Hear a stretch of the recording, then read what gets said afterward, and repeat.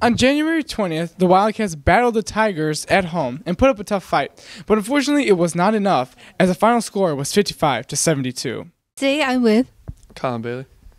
and we have some questions for you. So, what did you feel like was the high point of the game? Uh, we started off with a lot of energy in the first half, and uh, yeah, we played them well in that first half. Okay, uh, how did your team work together?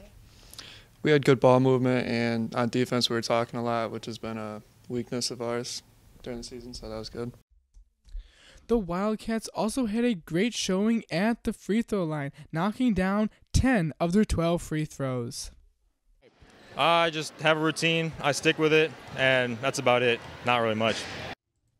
Junior Avery Rogos is fouled hard after driving to the hoop.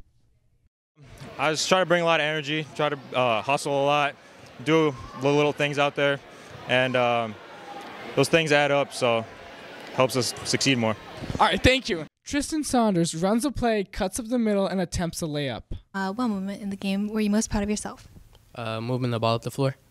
Despite this loss, the Wildcat basketball team continues to keep a positive mental attitude and looks forward to conference.